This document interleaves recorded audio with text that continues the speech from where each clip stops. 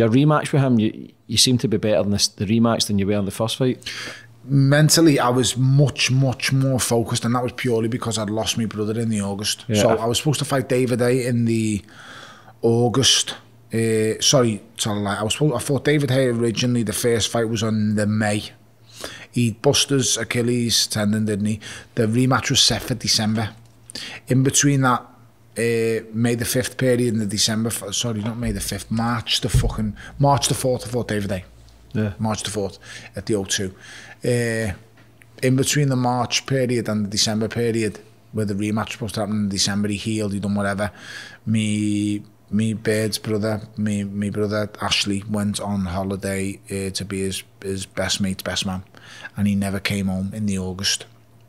Uh, the same night McGregor fought Mayweather. So when he never came back, I was supposed to fight David in December. Me world just collapsed. That's the best way of saying it. And people think why I don't believe in God because if you believed in God, how the fucking hell is a 32 year old young man just comes home, just goes on holiday and never comes home? There's two daughters, you know what I mean? It's fucking. It's Heartbreaking. Oh, mate, it's the worst part of my whole entire life. Yeah. Uh, the amount, and I always hear people going on about depression and things like that, which it pisses me off a bit these days. How much people play on the word depression. You wouldn't know what depression was, and if you really did feel it, mate, you'd, you'd really. It's a horrible thing. Crying yourself to sleep every night. I went back to, to camp. I lost Ashley in the August, and I, I was a selfish cunt. I needed to get out the house because my life was just a mess. Uh, my missus was finished. Uh, it nearly finished us, all of us, our whole family.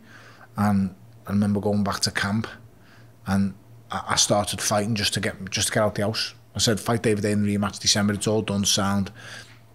I went to Sheffield. I was in Sheffield for four or five weeks, and I just every night for four or five weeks, I just cried myself to sleep in a fucking hotel ex- Holiday Inn Express, and it was just horrible. The worst time of my life.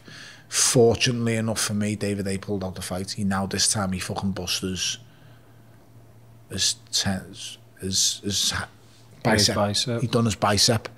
Uh, honest to God, if I'd got in the ring in that December, I'd have done something crazy. I'd have done something mad. I Full might, of rage and anger. I might have bit him. I might have kicked him. I might, I would have, I might have elbowed. I would have done something crazy because I was on the breaking point. So that's the closest I've ever come, I reckon, to having a breakdown. Yeah. I was just a lonely, fucking horrible place. I just couldn't put nothing together. It's just arguing with my missus all the time. Uh, and we just couldn't work it out, you know. Yeah. Ashley was just gone and it just ruined But that shows you the strength of your character because you come back and you come back even stronger. I think everybody that watched that fight was crying at the end as well because you could see the emotion. You're clearly a man who wears your heart on your sleeve. You don't fuck about. Your loyalty's raw. It's there. But again, brother, you feel your presence. You feel family presence, and you you says you felt someone in that ring, and that shit, mate, you can't buy. You you did yourself proud and your family proud. So first of all, I'm proud, Thank you. mate, um, because It was hard. Just coming back from that, it was just Yeah. so hard. It was a, it was just such a horrible place to be in. As I said, I just didn't know. I didn't know what to do. Mm-hmm. Me, you know, your kids are seeing all this. Me kids have been exposed to it. and It's fucking horrible. Me little Yeah. baby boys, uh, and losing their uncle like that. And I say Mm-hmm. it's just so so sad. And and, and we and we had no closure at all. Whereas the, there's people involved who know a lot more than us and don't don't tell us the truth. And it's just so sad and heartbreaking. It really, really Yeah. is. But what can you do? You can only move on. We honour this. We honour them now. And we do everything we can to remember him in the best light. He's Yeah. such a lovely lad.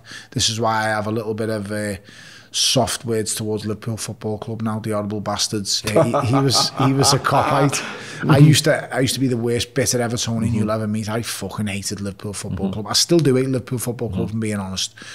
But I- when Ashley died, a part of me just just died with it, and that was it. Me hate Yeah. towards them, and then also just I don't have anger and hate towards anyone these days. Mm-hmm. I really don't. As you know, have- brother, life is too short as well. I just don't have it, mate. I don't Yeah. have any grudges towards anyone. I used mm-hmm. to, I used to hate Frank Warren. I don't hate him anymore. Yeah. I just don't have, I don't have it in me. I just don't hate anyone. Oh, oh there's people who I dislike. Yeah, there's people who course. don't want to be mm-hmm. around because they're negative, and there's people who have, they bring a bad presence around me. But I don't hate anyone. Yeah. And there's loads of people yeah. out there have done bad to me and done yeah. wrong to me, but I don't hate you. Mm-hmm. I don't hate you. I don't want. I don't wish you no harm on anyone. Yeah. Uh, and that and that came with him when he passed away. That definitely what changed me. I yeah. just don't wish bad on, on anyone. See the world differently. Yeah, he was such the nicest person you could wish to meet. Mm-hmm. The the the life and soul of the party. Fucking mm-hmm. loved to party. Yeah. Uh, if if he was here now, mates, let me tell you, fucking hell. He, decl- he declined. He declined up that lava building and got Borco and shown his ass to the fucking world. Uh, people are firing fireworks. as we- Yeah. I'm telling you, he declined up there naked, naked. Mm. And it's fucking, it would have took yeah. them that long, nearly fucking 30 years, yeah. it took them bastards to win the league. so it's, you know what, it just... But at least you've got a lot of good memories, and that's the beautiful some... thing. And even bet you even Liverpool won the league, he would have probably been the first oh, like, thing that popped into your head. Yeah, he was. I sat there. Uh, didn't, he won it when Chelsea lost. Uh, Chelsea beat City, didn't it? Was yeah. it Wednesday night? A Wednesday night, because me and my missus sat there. My missus was a bit upset, and we just sat there, and I was happy. I, I smiled and I was laughing with her Yeah. because she's a cop like me, bitch. She's a fucking horrible red. so, so she's just we sat there and we just laughed and we just thought about him Yeah. because all he done was follow Liverpool everywhere. He just went everywhere with them. Uh, and what it then meant to him. So a part of me is happy, don't get me wrong. Don't fucking mix it up. I didn't want them to win the league. Yeah. I don't fucking wish them to win the league. But when the bastards Mm-hmm. have won it, I'm just, I'm happy. I'm happy purely for them. Yeah. And I fucking hate them, mate. I really do. But he's, he, you know, he was so many things to, to us that we meant, and you don't realise it. One thing I'll say to people is, don't fall out with you know. There's loads of families they don't get on. You know, I didn't speak to my brother for a, a, good number of years. Uh, the first time I spoke to him in about four or five years, maybe longer, was when Ashley died. Uh, so everyone has problems in the family. Everyone has issues. But trust me, work it out and sort it out because it's just too short. Yeah. And, uh, and if they go, you mm -hmm. never want it to end on them on them kind of circumstances. Uh, I love Dash. Lived in my house. Uh, it was that first house I told, told you that I'd bought mm -hmm. uh, in Old Swan. He was living there uh, when he passed away. So Al always come to me as well. First house in his first proper house. So yeah.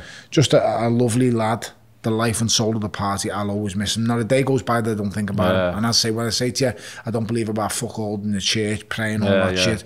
I believe 100% he's watching down Yeah. and looking at us. He like he used to always, he was the cheekiest bastard. I remember he'd turn up at my house and he was the only person in the world who'd come in and he'd be sitting there and he'd go, hey Hans, how much did you pay for that? How much did you pay for that? How much did you pay for that? I'd be mm-hmm. like, fucking hell, lad, you fucking quizzing me how much I paid for Is he things. working for the? Fucking nosy bastards. Or just things like that. Or you'd have a watch and he'd go, Yeah. lad, how much did you pay for that watch? Or, fucking shoes are nice. How much are they? Just, he's just a cheeky fucker. But he, he would, there was no malice in Ash, no nastiness. He was just such a good, good person.